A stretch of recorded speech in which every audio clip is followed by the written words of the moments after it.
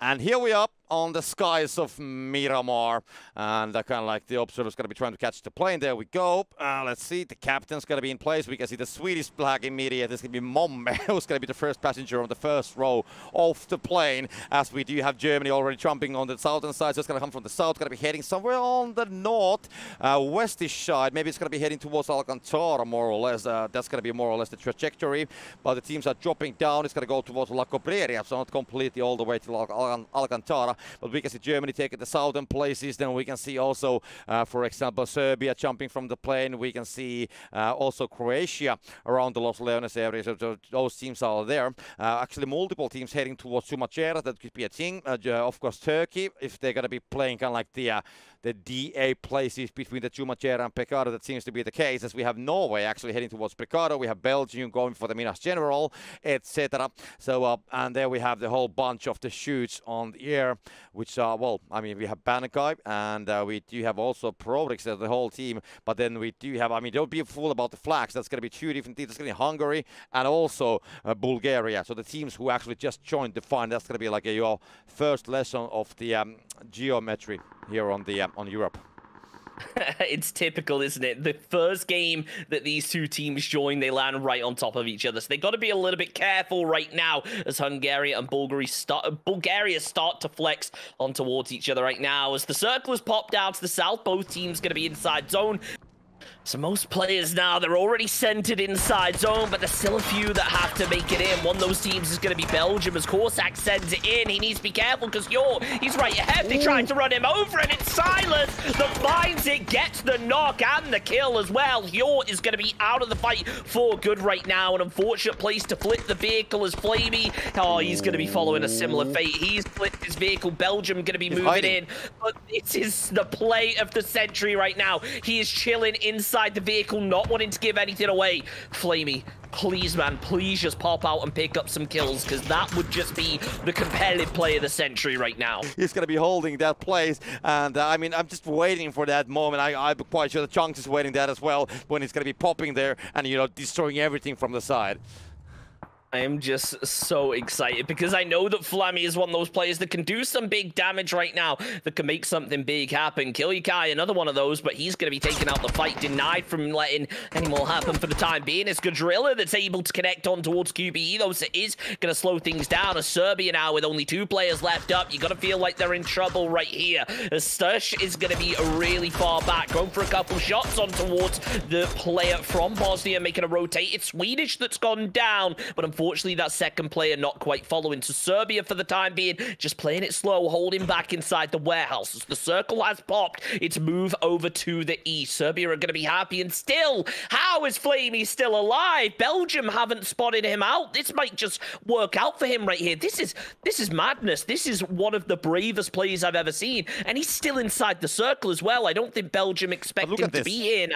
But you got to think if Silas gets shot and goes prone to take cover, he's going to be able to see him underneath this Murado right here. Oh no, he's going to see him. he's going to oh, prone there. Oh, oh no, there's a guy, and now they're going to start shooting. It's going to be.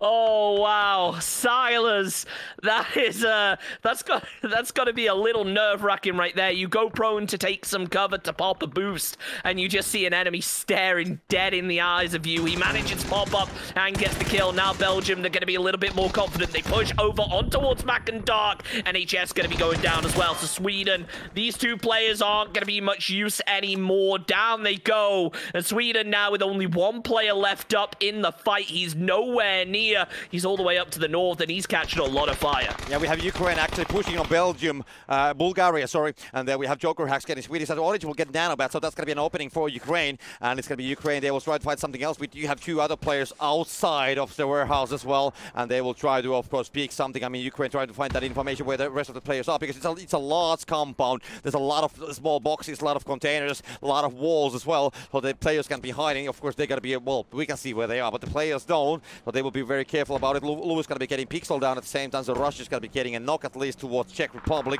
As we can see, Ukraine moving inside. They will go inside. They want to find those angles because he already plays from the Bu Bulgaria outside, and they will actually open the fire, and that's going to be a problem because his web's already spotted. Oh, this is going to be just, you know, crash, rushing here all the way, wants to find an angle. The guy's going to be hiding there behind the dumpster, and Arctic's going to be now spotting that this race going to be killing a different sort, so the audio cues will come from the other players, and Arctic's just waiting. Momme getting three guys from Austria with the one nade. That's going to be a, a lot of players actually falling down at the same time, but still the situation is going to happen here, and we can see also Hungary joining for the fight from this compound, as we can see Ukraine still fighting with the Bulgaria, and the third is going to come as well. Belgium quite far away from here. They can't really do anything about it because the Arctic's getting flashed down, and uh, Ukraine, they're kind of like, you know, they got inside of the warehouse, but now they are kind of like trying to look away out from there, and they really can't go from these small doorways because that's what the uh, the guys are definitely watching. But now we, from the minimap, we can see Hungary actually piling there on the northern side, and they should be finding some angles towards Bulgaria. Nice net coming towards oh! But he's still gonna keep his life there on the dumpster, even though he will take a huge amount of damage. Molly's gonna catch oh, and that's no. gonna be it. Or it's gonna get swept down. That's gonna be one. Perfect is gonna be getting inside as well. Spider has been knocked down at the same time. Putex will fight that with a nade. Swep's gonna fall down completely as Hungary still waiting there on the northern side. Also Belgium very eager to welcome these guys inside of the circle as well. But Putex Bankai still holding the front as we do have two other teams uh, heading towards them all the time. And Ukraine, they will do the revivals. Putek's gonna be holding in a different angle. And it's just a matter of time when the Ukraine is gonna be finally moving towards the rest of the guys as we can still see Hungary waiting there on the north. Yep, we see Bulgaria sweeping in. Poos is going to be able to take down Spyro's heart. He goes down to Bankai. Beautiful two-man play coming out from Bulgaria as they get more and more aggressive on towards this. The hit fire comes out. It's perfect. It's able to take down Bankai. Now Pews needs to move in to try and provide some support. Focuses on the flush. Whether that's the right play or not, we are yet to find out. But he isn't going to be able to confirm all of them just yet. There's still players alive from Ukraine, but not for long as the M4 spray connects down they go in 14th position. Serbia following suit in 13th as now the final player left up. It's Malmi from Sweden, able to pick up two kills out of it, making it three overall for them. But with only one player up, they have a long way to go to make it into the top half of the standings, into the top two to qualify for the grand finals. Yeah, that is true. Germany is going to be uh, watching here on the southern side. We have Belgium and uh, Germany. They're going to be fighting here as we can see there. Just waiting to see how this is going to go all the way in the end.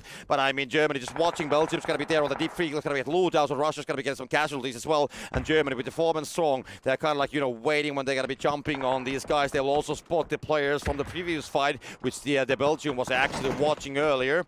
And now we have the spray coming from Ripen. It's going to be Hungary getting Bangai down from Bulgaria. Bulgaria has been taken down, so it's going to be Hungary who was waiting there on the northern side all the time. They will flush down the kills, and now they will be actually starting to move towards the northern side. But there's going to be Croatia waiting on the north, and they will be actually dodging away from Belgium. And this might actually mean that Germany finally has the spot to open the fire towards Belgium. On the northern side, we do have Russia taken down. It's going to be Tomiel. Going to get also towards shots towards Czech Republic. So it's shooting fighting. And now we can see Pronix. Nice spray coming. Oh! Zico, Nixie falling for that one. And Hungary, they will still want to go for it. They want to get those losses as well. That's going to be two more points for them. But they know that they could be actually catching something from this one. Pixel going to fall down as well because Tomiel's going to get that plus. And now it's going to be Germany going for Silas. It's going to be Silas from Belgium, going to fall down. There's going to be still two more players. It's going to be Kozak and Fritz uh, on the, um, well, more or less on the western side from them. Markov's going to be uh, moving the vehicle because Ibrahim's not getting Fritz down, so it's going to be all the Kozak. Kozak's going to try to deal some damage from that shack,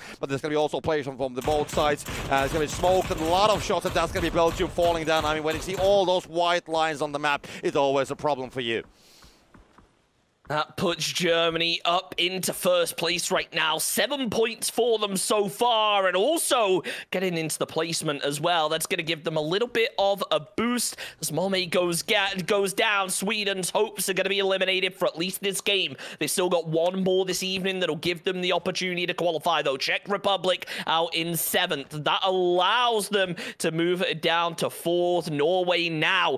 There's going to be any nades coming on that area, and that's going to over opening fire towards the Turkey. This we have have shots coming. Hyman will take Schofield down. More shots will come still, and that's going to be Mert falling down as well. Havana's going to be stealing that for Austria. So Norway definitely doing a great job. You can see eight points for them. Germany with eight points as well from the from the kills. And now we can see Paint going for Godrilla. Godrilla's going to open the fire, and now Paint's not that he's going to be hiding behind these hay pots. He needs to be somewhere. Will be spotted, and now they will just go for it. They will push. They will go, and that's going to be a spray headshot, Ooh. and Godrilla falls. The top four still remains.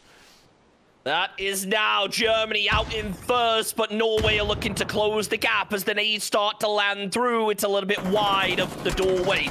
Connect on towards Saletti right now. Tom Hill going to be going down. Braexco starts to open up. Hyman still surviving as the final player left for Norway, but you got to feel like he's going to struggle right now as Germany just get more and more control. It's Ivers that comes in from behind with the long-range shots, destroying Hyman's back, and there it is. Down go Norway out in fourth position it's gonna come, and we can see Braska just going for it. He knows he's gonna be gone. That's gonna be Havana falling. The point will come 11th kill, and the Shack, that's gonna be the last player on fire. Braska gets him down as well. Austria is eliminated. Uh, Germany, 12 kills and at least 18 points from this game. That should be enough. And now we have Croatia. Ivas holding and trying to hold it. That's gonna be too, uh, well, too unlucky because that's going to be Germany getting the 13th kill as well and the chicken dinner.